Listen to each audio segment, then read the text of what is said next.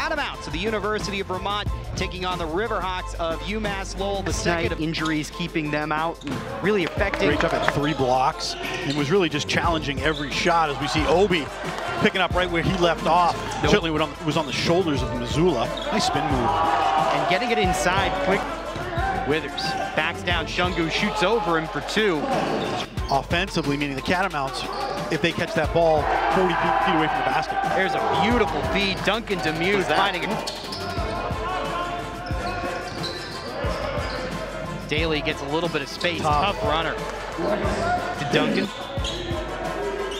Under seven minutes to play in the first half. Missoula gets a little nice. bit of space and a pretty feed. Just hawk. Mitchell gets tied up, lost the basketball. Shungu, numbers for the Catamounts. Here's Missoula, and one. Let the kids play. Yeah.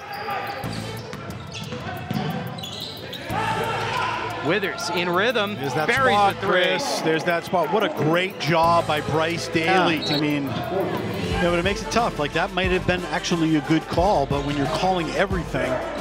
Beckett. Beckett. Knocks Good reversal. One.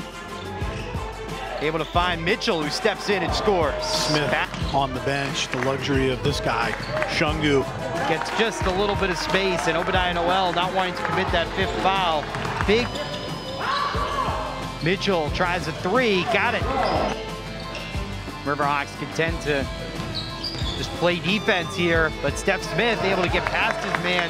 Seems sure like a miss. most of the time it takes a lot out of you, and you know, with the expectation level of Obi to do things like that.